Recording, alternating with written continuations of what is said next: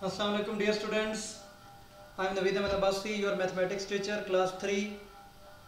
And uh, today we are going to talk about Roman numbers.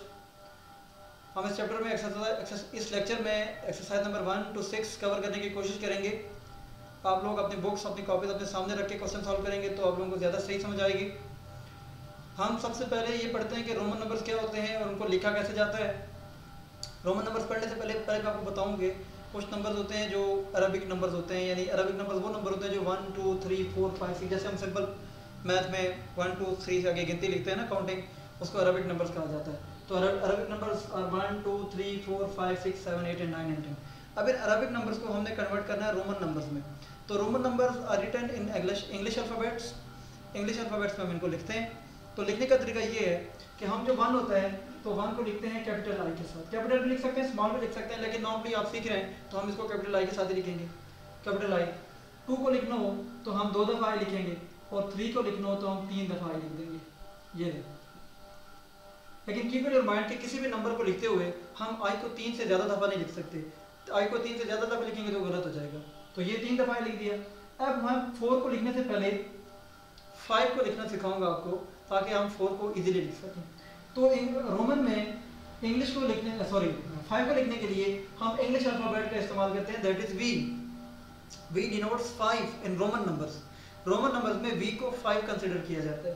तो ये जो we है दैट इज़ फॉर फाइव और अगर फोर को लिखना हो तो फोर को लिखने के लिए वी से पहले हम आई डाल देते हैं। तो इसका मतलब तो ये फोर हो गया।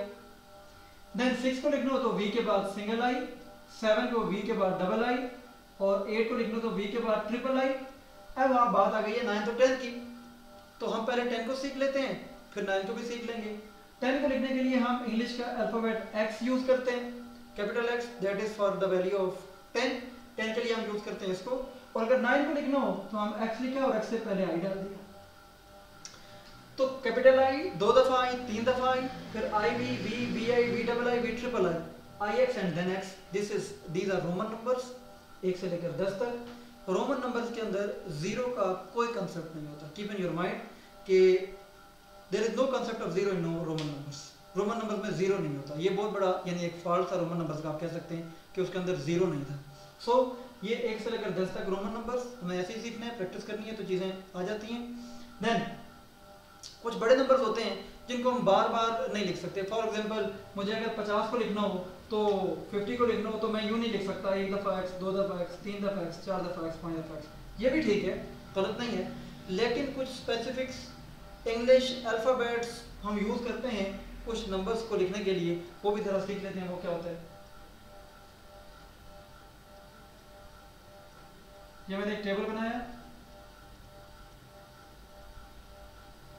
यहाँ पे आगे मैं आपको लिखता हूँ नंबर्स और ये आगे रोमन नंबर्स ये आ गया पचास, fifty, hundred,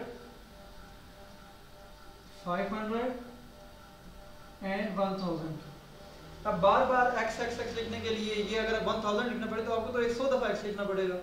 वो एक बहुत बड़ा प्रोसेस है, मुश्किल प्रोसेस है चांस ऑफ़ एरर बहुत ज़्यादा है। सो उसको आसान बनाने के लिए हम पता है क्या करेंगे? हमें 50 के लिए 100 के लिए 500 के हज़ार के लिए डिफरेंट इंग्लिश अल्फ़ाबेट्स दिए गए हैं जिनका हम यूज़ करते हैं।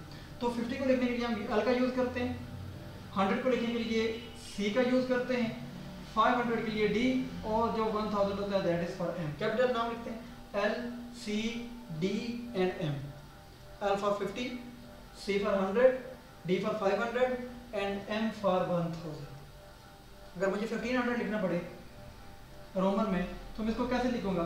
1500 के लिए पहले 1000 लिखें 1000 के लिए m आ गया और फिर 1000 के बाद 1500 तक जाने के लिए 500 चाहिए होता है। तो 500 प्लस करें आप इसमें तो आपके पास 500 15 हो जाएगा। तो 500 के लिए हम d का सिंबल यूज़ करते हैं। Md का मतलब ये 1500 लिखा हुआ इसी तरह 1100 अगर लिखना पड़े फॉर एग्जांपल तो m आ गया 1000 और c आपके पास आ जाएगा। किसके लिए? 100 के लिए तो 1100 हो जाएगा। इसी तरह हम डिफरेंट नंबर्स को हम कैलकुलेट कर सकते हैं। This is a very simple way to introduce these kind of Roman numbers आप इसकी प्रैक्टिस करें, दो चार दफ़ा जब आप इसको लिखेंगे तो आप लोगों को ये चीज़ें आ जाएँगी आई होप सो कि आपको समझ आ गई होगी। बाकी लेक्चर भी आप लोगों के पास हैं, उनको भी देखें गौर से। और जो चीज़ें आपको समझना है you can ask multiple times through WhatsApp through any other way of communication आप लोग पूछ सकते हैं। अपने बहुत सारा ख्याल रखिएगा। टेक केयर अल्लाह